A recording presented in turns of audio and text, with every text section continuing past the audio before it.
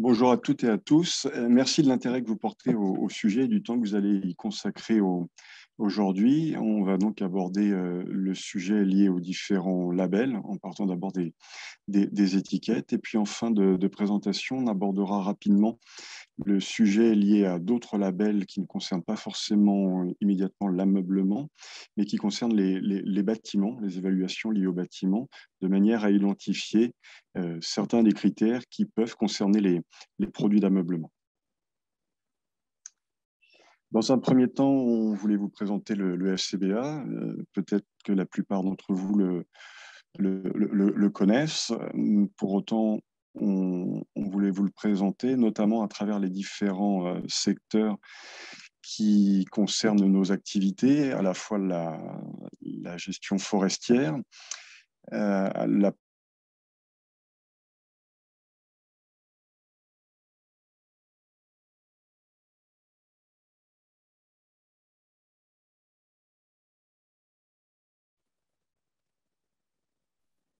Eh ben, si ça veut pas avancer. On t'entendait plus, Benoît. Voilà, c'est bon, ça c'est bon là maintenant. Ah oui, la connexion, elle est installée. Ouais, c'est bon, tu peux. Très bien. Et, donc, les, deuxièmes transformations, que sont euh, les applications pour la construction, euh, l'ameublement et l'aménagement, et puis, en parallèle de, toutes ces démarches-là, les enjeux environnementaux qui peuvent concerner euh, tout ou partie des, différents, euh, des différents secteurs qui, nous concernent.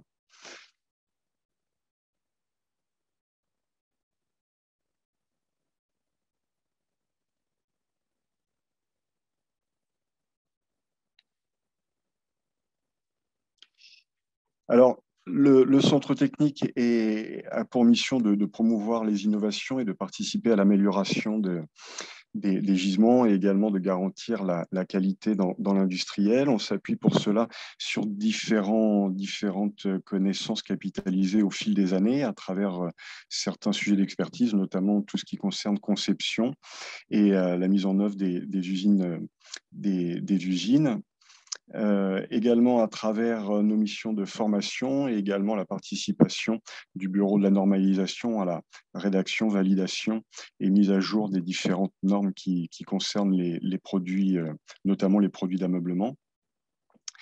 Et enfin, la, démarche de certification, à la fois certification process, produit et également, également organisme.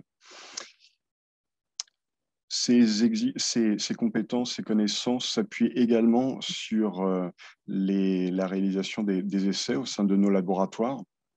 Alors, quand on parle forêt et euh, bois dans la construction, on est évidemment focalisé sur le, matériau bois, mais dès lors que l'on parle ameublement et aménagement, on aborde tout type de, matériaux, notamment à travers les laboratoires, laboratoires euh, d'essais sur textiles, produits rembourrés,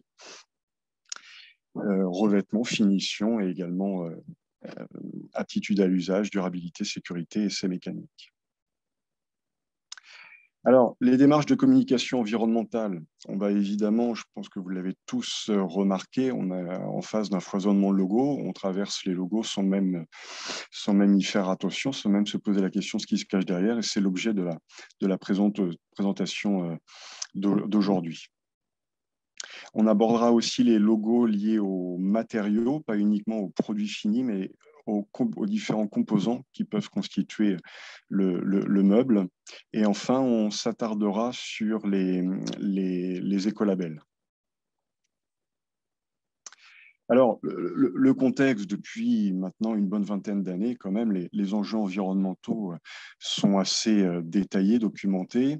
On sait bien que les produits et services, quels qu'ils soient, même quand on part avec les meilleures intentions du monde, ces produits génèrent des impacts environnementaux, que ce soit euh, la consommation de ressources, que ce soit la consommation énergétique ou la gestion en fin d'usage du, du, produit. Euh, les prises de conscience euh, croissantes à la fois chez le consommateur, mais aussi chez l'industriel.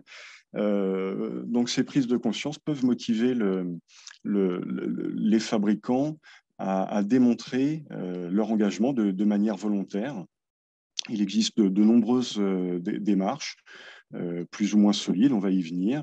Et le, but de ces démarches est avant tout d'éclairer euh, le, consommateur, alors que ce soit le consommateur privé, que l'on est tous, mais également l'acheteur l'acheteur public ou l'acheteur en entreprise. Dans tous les cas, la communication environnementale se doit d'être précise et explicite. On doit préciser les étapes du cycle de vie sur lesquelles on a agi. On doit expliciter le bénéfice par rapport aux produits qu'on fabriquait précédemment euh, des modifications. Et le consommateur doit avoir une idée précise de l'engagement de, l'industriel pour éviter tout message flou qui, finit, qui, qui, conduirait à penser que tout le produit, toute l'usine génère des bénéfices pour, pour l'environnement. Alors, avant de parler de, communication volontaire, on peut s'attarder rapidement sur euh, les, labels liés aux, exigences réglementaires, qui elles aussi foisonnent. Euh, historiquement, on, connaît les étiquettes environnementales, notamment pour tout ce qui est euh, produits électriques, électroniques et électroménagers. Euh, c'est ce, petit barème ABCD qui visait jusqu'à présent à nous présenter les consommations énergétiques liées aux différents, liées aux produits, ce qui nous permettait de comparer les produits avec une espèce de vulgarisation, c'est-à-dire qu'on ne compare plus exactement la, valeur brute, mais on, on, a un système de notation qui nous permet de comparer produit par produit ça simplifie la, démarche et puis ça sert de, démarche également d'éducation vis-à-vis du, public pour s'approprier cet enjeu-là. Bon, depuis quelque temps, euh, la réglementation euh, ne se limite plus à la seule consommation énergétique, mais aborde d'autres sujets, d'autres enjeux portés par ces différents produits. Et ces démarches d'étiquetage environnemental se déploient à d'autres typologies de produits que le produit électrique électronique. On a notamment les véhicules, les pneumatiques, les logements et avec un autre type d'étiquette, les produits de construction et décoration qui, eux, à ce moment-là, abordent la notion de qualité de l'air ou de contribution à une potentielle dégradation de la qualité de l'air intérieur. Alors, on a cette étiquette qui résume euh, euh, toute la démarche, mais il faut savoir que derrière la démarche, il y, a, des essais, il y a toute une liste de produits euh, qui sont définis à travers le décret de, 80, de 2011. Pardon, et chaque produit doit se positionner à travers une démarche portée par l'entreprise. Un autre indice que l'on a vu arriver très récemment, notamment à travers la loi AGEX, c'est l'indice de réparabilité. Alors aujourd'hui, il ne concerne pas les, produits d'ameublement, mais c'est vrai qu'il est intéressant. Les produits d'ameublement, la plupart du temps, de par leur conception et leur assemblage, euh, pourraient tout à fait envisager de mettre en avant ce type, euh, de démarche. Euh, souvent, on parle de fin de vie du produit, mais d'abord, on parle de fin d'usage, c'est-à-dire l'usage est prolongé chez quelqu'un d'autre ou pour un autre usage au sein, de, du domicile ou au sein de, l'entreprise. Donc ce, cet indice et ce logo, euh, il vous en est présenté ici euh, trois exemples, euh, sont également des logos que l'on commence à, croiser. Et puis enfin, le, ce qu'on appelle le, triman, c'est-à-dire toutes les consignes de tri associées aux différents produits que l'on voit depuis, depuis quelques années et qui ont été récemment complétées avec, avec une autre allégation pour accompagner le logo. Alors maintenant, les communications volontaires, peut-être ce qui vous concerne, ce qui vous, concerne le plus aujourd'hui. comment peut-on se, positionner? Il y a d'abord les, ce qu'on appelle les autodéclarations. Je suis un industriel, j'ai un message à faire passer, j'ai tout à fait la légitimité de le faire passer, à condition toutefois que je respecte le cadre normatif. Et puis même au-delà du cadre normatif, il y a maintenant différents guides qui vous permettent de, savoir ce qui est autorisé, ce qui ne, ne l'est pas. On ne peut pas parler de produits euh, euh, bons pour l'environnement de produits, euh, d'éco-produits, euh, sans euh, valoriser son allégation, sans justifier sa, démarche. Il existe notamment dans ce cadre, dans ce, cadre-là, il existe différents guides, notamment un guide porté par, par, par l'ADEME qui résume la norme ISO 14021, qui doit être votre livre de chevet si vous souhaitez vous engager dans, cette démarche-là. Elle définit notamment euh, un certain nombre de termes de, environnementaux, d'un vocabulaire environnemental, et elle les précise. Et comme ça, elle vous indique euh, ce que vous pouvez mettre en avant ou pas en fonction de l'action que vous avez, euh, que vous avez conduite la deuxième démarche est une des démarches un peu plus solides dans le sens où elle fait intervenir une tierce partie, c'est les écolabels. Donc les écolabels, c'est un référentiel, c'est un organisme qui certifie et ce sont des évaluations, à la fois des évaluations sur produit, mais des évaluations également in situ, qui sont reproduites annuellement dans le cadre d'une surveillance qui est organisée par l'organisme de certification. Enfin, on a les écoprofils que l'on rencontre moins au niveau des produits d'ameublement, d'aménagement, ça vise à traduire les démarches euh, dites ACV, analyse de cycle de vie, que l'on peut résumer euh, euh, peut-être comme étant une, espèce de, comptabilité environnementale. On fait le bilan de ce qui rentre, de ce qui sort, des consommations énergétiques. Il existe des, bases de données qui nous permettent de traduire ces, tous ces flux en impacts environnementaux. une fois qu'on a tous ces impacts environnementaux, euh, il est peut-être bon de les, de, les, de les, vulgariser, de les rendre, de les rendre lisibles pour le, consommateur ou pour le, ou pour le client. Donc, euh, cette démarche-là est également euh, portée par un cadre normatif qui vise à, à, respecter la façon dont on présente les, les résultats. Et enfin, l'affichage environnemental qui est une démarche qui se déploiera dans les années à, venir. Euh, c'est également basé sur la notion de comptabilité environnementale, hein, comptabilité des flux, euh, et traduction des flux en indicateurs environnementaux. Euh, mais les organismes euh, l'ADEME et, les ministères ont mis en place des démarches qui ont permis euh, de définir des guides propres à chaque typologie de, produits. Il en existe pour l'ameublement, notamment pour le matelas, les produits domestiques. Ça permet à un industriel qui se lance sur, le sujet d'identifier euh, les éléments qui sont impératifs à prendre en compte et puis ceux qui peuvent, entre guillemets, ne pas prendre en compte, faire certaines coupes franches. Euh, toutefois, ces coupes franches sont motivées par le fait que dans le cadre des études de sensibilité, on a pu prouver que si on ne prend pas en compte tel ou tel flux, euh, l'impact environnemental, les, données liées aux impacts environnementaux ne changeront pas de façon significative. Donc, on peut se permettre de simplifier la, la démarche. Et en plus, cette démarche euh, est associée à une façon de communiquer qui est standardisée, donc ce qui pourrait un peu à la façon de l'étiquette environnementale présentée sur la, le slide précédent, ce qui permettra de comparer euh, produit à produit. Alors, il y avait le cadre, et puis maintenant, bah, il y a le flou, c'est-à-dire tous ces logos-là que l'on croise euh, peut-être quotidiennement. Et alors, on croise sans trop savoir ce qui se cache derrière. Ça fait un peu le phénomène de, boîte noire.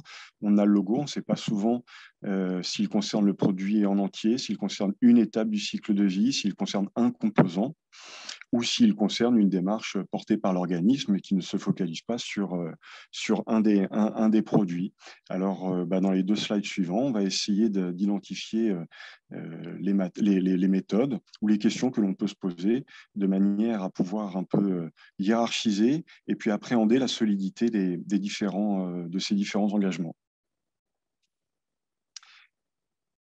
Alors, les, premières questions que, l'on peut se poser, c'est euh, le, champ d'application du, référentiel. Alors, ça, impose aussi de ne pas se limiter au logo, mais d'essayer d'aller euh, gratter, voir ce qui se cache euh, derrière. Euh, voir s'il existe un site internet qui explicite la, démarche. Alors, la plupart du temps, quand on est fabricant de produits, on s'attarde sur, euh, sur notre première intention, qui est de fabriquer un produit, de le, concevoir, le fabriquer, le délivrer. Donc, on se focalise sur le produit. Donc, pour le produit, il existe des, des écolabels, des autodéclarations. Mais on peut aussi se poser la question de, euh, des, engagements environnementaux de, nos fournisseurs concernant donc les, approvisionnements. Dans le cadre du produit d'ameublement, par exemple, on peut se poser la question des, approvisionnements en bois ou panneaux dérivés de bois, des textiles, des produits de rembourrage également. Et enfin, d'autres logos euh, abordent des démarches euh, de l'organisme, c'est-à-dire que sont non plus focalisé sur le produit, non plus focalisé sur les composants, mais focalisé sur l'ensemble des activités de, l'entreprise. Et parfois même, on sort des limites de propriété du site de, fabrication pour aller poser des questions euh, à nos différentes parties, parties intéressées, parties prenantes. Donc, l'idée de ces démarches-là, c'est d'abord se focaliser sur ce qui est intentionnel, le produit, mais on peut également se poser la question euh, des différentes parties prenantes de notre produit.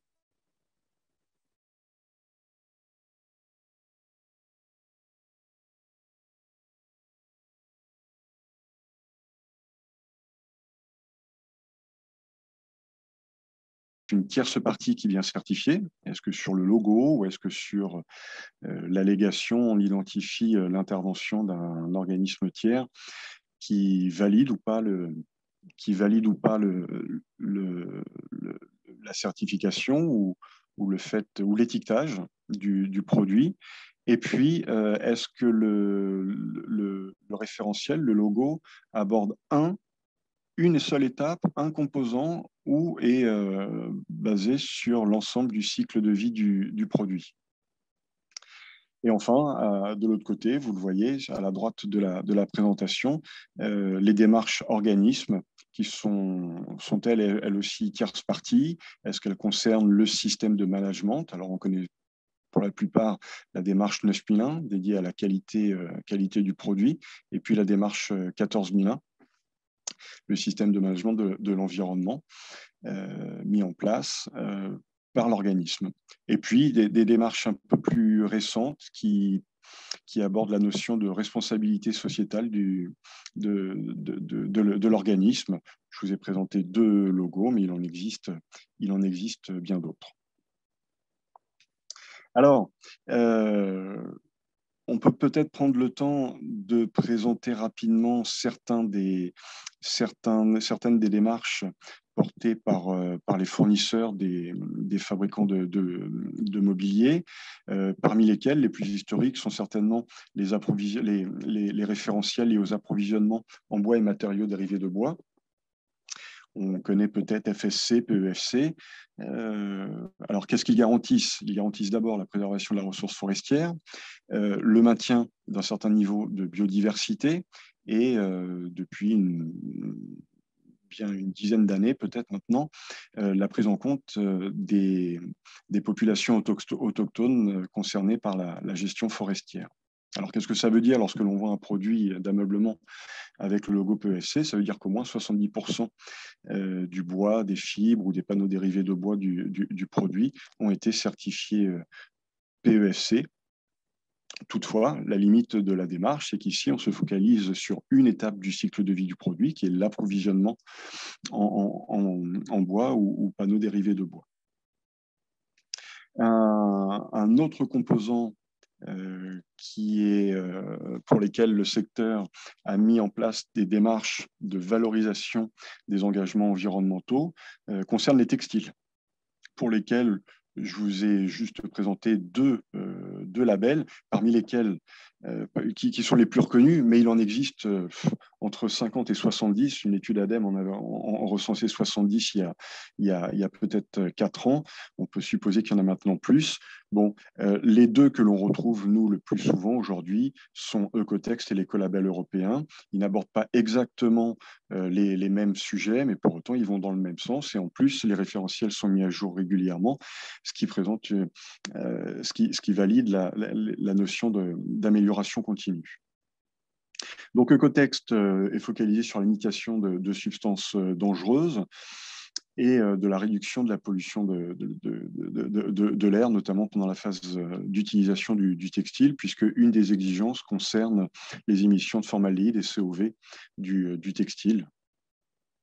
Ecotext aborde également la notion des, produits de, concerne également les produits de, rembourrage. Hein. Et puis, il y a l'écolabel euh, européen, qui lui est un, peu plus complet dans le sens où il aborde plus d'étapes du cycle de vie par rapport à, à, Ecotext, mais l'un et l'autre peuvent être considérés comme étant euh, une validation des bonnes pratiques du, fournisseur de textiles. Les approvisionnements en mousse également sont, sont concernés par euh, des, des, démarches. Euh, on citera Eurolatex et Certipure, euh, dont l'objectif est avant tout de limiter les, substances dangereuses dans, les mousses, que ce soit les mousses latex synthétiques ou les mousses polyuréthane. Enfin, les, les écolabels alors, les écolabels, on vous en présente euh, quatre aujourd'hui.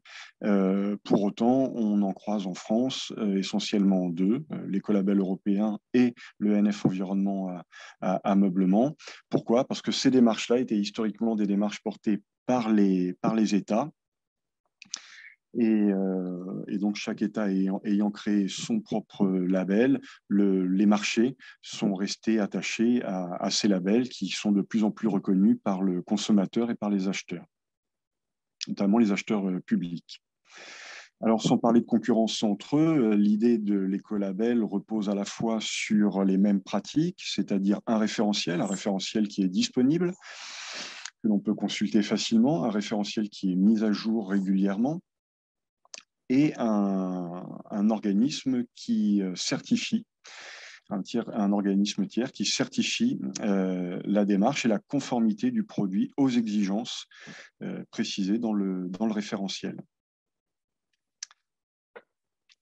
En termes de, si, on doit juste comparer l'écolabel européen et le NF Environnement, aujourd'hui, NF Environnement est largement plus déployé sur le marché français que l'écolabel européen. Tout simplement, il n'y a pas de produits euh, de fabricants français certifiés selon l'écolabel européen. Euh, le référentiel existe pourtant depuis 2007, mais une idée partagée en Europe, c'est la difficulté de, la mise en œuvre de ce, référentiel qui doit être porté euh, par un organisme dans chaque État. En France, c'est l'AFNOR, et malgré différentes expérimentations menées, on n'a pas aujourd'hui de fabricants français certifiés selon l'écolabel européen. Et au niveau européen, euh, c'est un niveau relativement modeste du nombre de produits certifiés. Alors, on a beau avoir 21 titulaires, la plupart du temps, le titulaire a un, deux, voire trois produits, c'est assez peu. Il y a un titulaire, un Danois, qui écrase un peu cette, cette certification avec plus de 300 produits certifiés. Mais donc, c'est un peu l'arbre qui cache, qui cache le désert. Au niveau du NF euh, environnement ameublement, euh, on a 47 titulaires, des titulaires euh, français, mais également des titulaires étrangers, dont les sites de production à l'étranger sont audités. Et on a à peu près, alors je dis 400 produits, c'est-à-dire qu'on a 400 certificats aujourd'hui émis et le, et le chiffre est en croissance. Je ne vous ai pas présenté le nombre de certificats portés par l'écolabel scandinave Nordic Swan ou par l'écolabel allemand euh, Ange Bleu, Blue Angle, euh, parce qu'en France, ce sont des référentiels très très peu valorisés, mais il faut savoir que même s'il n'existe pas de, passerelle immédiate euh, entre ces différents labels, les exigences sont assez proches les, unes des autres. Alors, qu'est-ce qui les, qu'est-ce qui les rapproche plutôt commencer par celui-là. Qu'est-ce qui les rapproche et qu'est-ce qui les différencie? Bon, ce qui les différencie de façon assez marginale, c'est certains référentiels ont un ou deux, une ou deux exigences en plus. Euh, certains portés sur le cuir, d'autres portés sur les, les euh, sur euh, la consommation énergétique liée à la production. Bon. Mais essentiellement, on est basé sur une démarche par matériaux, qui est une démarche facilement, facilement comparable. Et euh, on parle essentiellement d'interdiction de substances dangereuses, notamment vis-à-vis des phtalates et des retardateurs de flamme. Certains référentiels intègrent euh, des exigences réglementaires, ce, qui n'est pas le cas pour NF Environnement, se limite à tout ce qui est démarche volontaire. Ce qui est réglementaire, ça doit faire partie de l'engagement euh, incontournable de l'industriel, de, connaître la réglementation applicable à son produit et de s'y appliquer. Une autre exigence concerne les approvisionnements en provenance de, forêts gérées durablement. Donc là, il s'agit de valoriser les, référentiels présentés précédemment, à la fois PEFC et FSC. Euh, les quantités entre les quatre référentiels présentés, euh, l'écolabel NF Environnement Ameublement, l'écolabel européen, le Nordic Swan et l'Ange Bleu, sont sur les, mêmes, euh, sur les mêmes ordres de grandeur euh, concernant les approvisionnements en, provenance de forêts gérées durablement. Un enjeu fort concernant les produits d'ameublement depuis un peu plus de cinq ans concerne la limitation des émissions de formaldéhyde et de, COV, COV totaux. ce n'est pas une substance, c'est un indicateur dans ce cas-là, pour les panneaux à base de bois ou pour le produit, ou pour le produit fini. Euh, l'interdiction de certaines matières plastiques, euh, il y a un enjeu fort porté aux produits, euh, au, PVC, non pas que le PVC soit un produit dangereux pour, pour l'environnement, mais quand il n'est pas collecté ou quand il est mal collecté, à ce moment-là, il peut être dangereux dès lors qu'il se retrouve dans, dans les incinérateurs. Et c'est un, une exigence communément portée par les trois écolabels, NF Environnement, l'écolabel européen et le Nordic Swan, une alerte vis-à-vis de, des petites pièces en, PVC. Une exigence, les exigences relatives aux approvisionnements en textile et rembourrage, comme je vous l'ai présenté tout à l'heure, euh, il est intéressant pour les fabricants de se retourner vers leurs fournisseurs de manière à identifier les, bonnes pratiques et ils ont des choses à, faire valoir. L'aptitude à l'usage, l'idée principale de l'écolabel est surtout de ne pas mettre de produits de qualité moindre sur le marché qui tendrait à avoir un renouvellement de produits euh, euh, une durée de vie plus courte, l'idée est bien d'avoir des produits qui répondent à, certaines, à certaines exigences de sécurité, évidemment, mais également de durabilité. Et puis enfin, la gestion en fin de vie des, produits, c'est un sujet, en même temps que la qualité de l'air intérieur, c'est un sujet qui devient de plus en plus prépondérant pour les produits d'ameublement, notamment parce que les produits, d'ameublement peuvent s'intégrer particulièrement bien dans tout ce qui est euh, future démarche d'économie circulaire initiée depuis, euh, depuis quelques années, à la fois par les pouvoirs publics, mais de façon individuelle par certains, par certains fabricants. Alors, un foisonnement des labels, euh, oui, mais pour autant, on, peut assez facilement identifier euh, les labels, euh, ou en tout cas appréhender la solidité des, labels. D'abord, existe-t-il un référentiel? Si oui, est-ce qu'il s'agit d'une certification par un organisme tiers?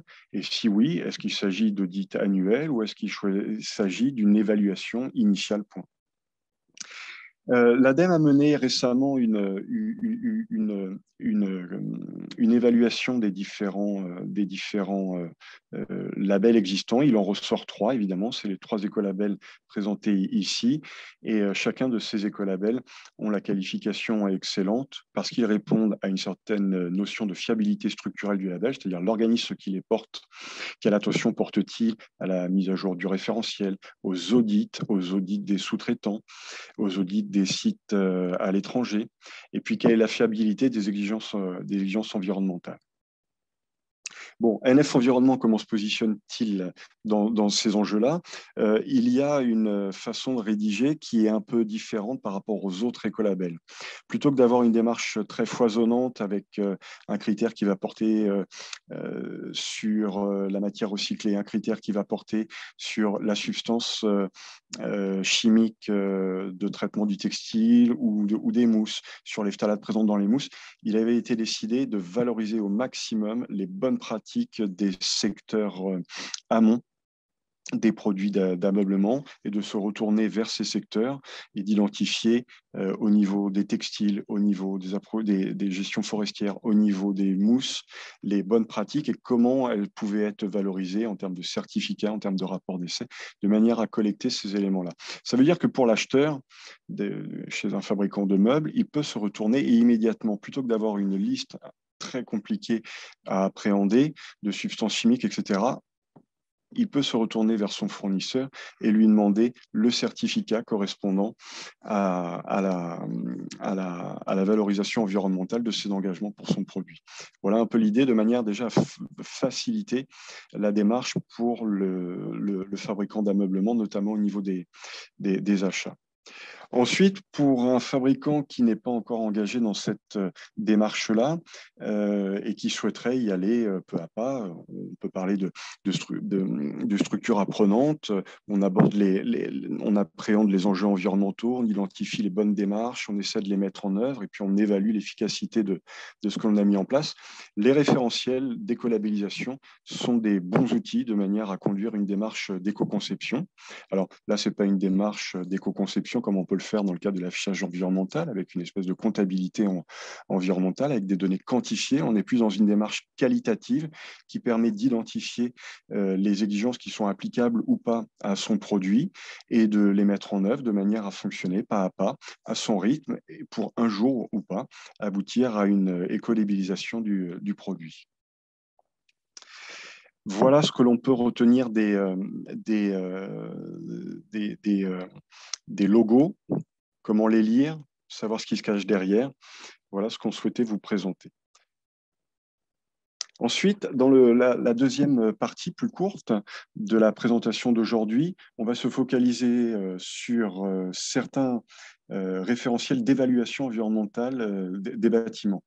Ce sont des démarches qui, explosent en ce moment et dont on entend de plus en plus parler. Alors, ça ne concerne pas les fabricants de mobilier domestique, ça concerne notamment les fabricants de, de mobilier professionnel collectivités et bureaux notamment, parce que souvent ce sont des, bâtiments, euh, des bâtiments de, de, bureaux qui sont euh, soumis à ce type d'évaluation, euh, parce que le donneur d'ordre, le, responsable de l'ouvrage, le maître, le, maître de l'ouvrage a demandé d'intégrer, dans le cadre du cahier des charges de construction de son immeuble, d'avoir la certification bâtiment associée à sa construction.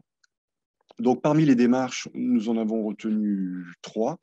Alors, ce sont trois démarches anglo-saxonnes. On aurait pu également citer NFHQE, qui est une démarche française. Mais aujourd'hui, les questions que l'on a essentiellement, concernent essentiellement l'une de ces trois du CN3 euh, démarches d'évaluation environnementale. Ce ne sont pas des certifications, hein, ce sont des, des, évaluations, que ce soit LEED, BRIM ou, ou L. Donc, ce sont des démarches anglo-saxonnes, soit nord-américaines, soit anglaises. Euh, parfois, la multiplicité des référentiels rend encore plus compliqué d'appréhender les, exigences. Notamment, je pense à, BRIM, qui, a plusieurs euh, référentiels, notamment un référentiel nouvelle construction et un référentiel rénovation. Alors, quelles sont les, exigences euh, qui, peuvent concerner les produits d'ameublement? On les résume dans le, tableau, dans le tableau suivant et puis après on abordera un peu plus dans, le détail les trois qui sont, qui, qui, sont présentés en gras ici. On a la conception des postes de travail. Vous voyez que ce n'est pas quelque chose qui est communément partagé, mais qui est porté par un des, un des, un, des référentiels.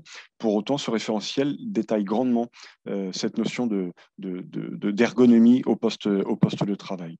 Évidemment, dès qu'on parle enjeux environnementaux, on déborde très rapidement sur les enjeux sanitaires et on aborde les notions de, substances, de substances dangereuses, substances chimiques présentes dans les, matériaux.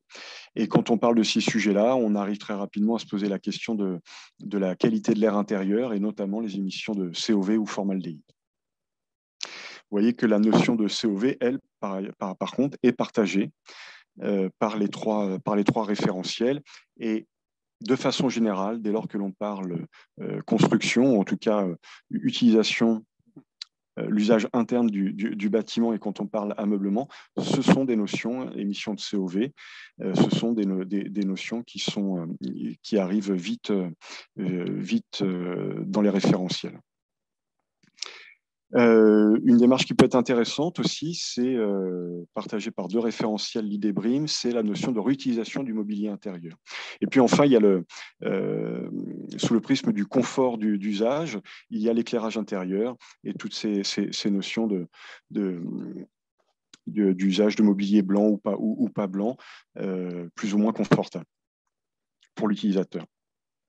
De nouveau, on retrouve euh, les différentes euh, substances chimiques euh, présentes dans, les produits, ce qui impose la grande connaissance des, des, constituants chimiques, des différents composants de, de, vos produits. Alors, en tant que fabricant, il n'est pas aisé d'identifier tous les composants chimiques présents dans les produits, notamment pour le vernis, notamment pour les mousses. D'où l'idée quand même précédemment de vous avoir présenté les, différents référentiels de certification des différents matériaux constitutifs de, peut-être de vos produits. Et enfin, une exigence uniquement portée par un, référentiel qui concerne la flexibilité des, aménagements des pièces, rendre les produits euh, le plus, euh, le, plus facile à, utiliser, transformer une salle de, réunion en open space, etc on se rend compte quand même que plus les référentiels évoluent, euh, et ils se, nourrissent, ils se nourrissent entre eux, donc plus les référentiels évoluent, plus une exigence va, même quand elle est portée par un référentiel, on va la retrouver dans les différents référentiels suivants à, court ou moyen terme. Alors, concernant l'ergonomie, euh, Well, je, je, je, voulais, euh, je voulais présenter ici, euh, on, peut juste le lire, c'est-à-dire que pour les espaces de bureau, 25% des postes de travail doivent pouvoir être ajustés par l'utilisateur. Donc, on est là dans la notion de assis debout, de produits réglables en hauteur, donc essentiellement le, le, poste de travail, le, le bureau, c'est quelque chose qui est aujourd'hui demandé euh, par un seul référentiel, mais on peut se douter que cette démarche sera, sera prolongée dans les autres référentiels à, très, à très court terme. Et que même que cette notion de 25% des postes de travail euh, tendra à, à, augmenter dans les années, dans les, dans les années à venir. Et euh, puisqu'on propose ce type de, cette typologie de produits, euh, également euh, toute la notion de, formation et donc euh, de transmission de l'information aux différents utilisateurs. Concernant les restrictions de substances dangereuses, euh, donc tout ce qui est retardateur de flamme, qui est abordé également par les, par NF Environnement et les autres écolabels pour les, produits d'ameublement, et différentes substances fluorées euh, et les différents métaux lourds. Donc on se retrouve toujours à aborder les notions, les mêmes, substances, les mêmes substances chimiques problématiques. Alors, le gros enjeu, vous l'avez bien compris, j'ai insisté là-dessus tout à l'heure, c'est un enjeu partagé par les différents, par les différents euh, référentiels, c'est bien la notion de qualité de l'air intérieur. Et malheureusement, ça, ça rend le sujet euh, encore plus compliqué, c'est-à-dire que euh, chaque laboratoire, chaque pays a développé sa propre démarche. On parle toujours des mêmes substances, la substance formaldéhyde et l'indicateur COV totaux, mais pour autant, euh, les méthodes d'essai, les valeurs seuil, sont, ou, même le produit qui est testé, est-ce qu'on teste le produit, le composant, ce sont toujours des, aspects euh, diff différents et il est très difficile de comparer, voire impossible de comparer euh, euh les, différents, euh, les, les, différentes méthodes d'essai. C'est pourquoi, notamment la colonne du milieu, vous voyez qu'à la fin, le référentiel BRIM, bon, bah, lui, il prend parti de ne pas choisir il liste, il liste tout le monde. Et prochainement, on espère que NF Environnement, avec sa mise à jour euh, très prochaine, euh, sera également intégré au référentiel BRIM. En tout cas, c'est l'enjeu des contacts que l'on a pris avec, euh, avec, avec les représentants de ce référentiel. Et enfin, euh, un, sujet qui, est quand même intéressant, c'est la notion de réutilisation du, euh, des, mobiliers usagés, alors notamment dans le cadre de réaménagement de bâtiments existants. Il ne s'agit pas de repartir euh, d'une feuille blanche et de racheter 100% du, du, mobilier, mais de prendre en compte le mobilier qui est encore utilisable, voire peut-être d'avoir une action avec le fournisseur de l'époque d'avoir une action de, réhabilitation ou de remise à niveau du mobilier quand il est euh, encore réutilisable.